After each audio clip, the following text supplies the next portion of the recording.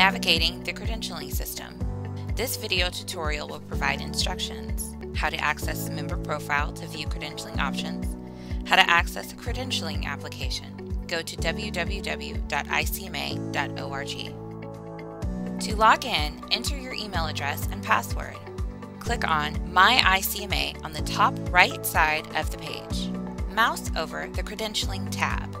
Please note that the History tab does not appear if you have never submitted an application.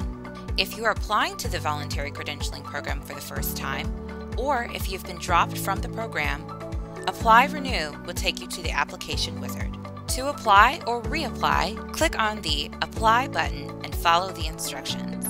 More information regarding eligibility requirements can be found at icma.org slash credentialing hyphen program hyphen eligibility. The voluntary credentialing program application deadlines are quarterly, the first Monday of January, April, July, and October. These dates are also posted on the icma.org website.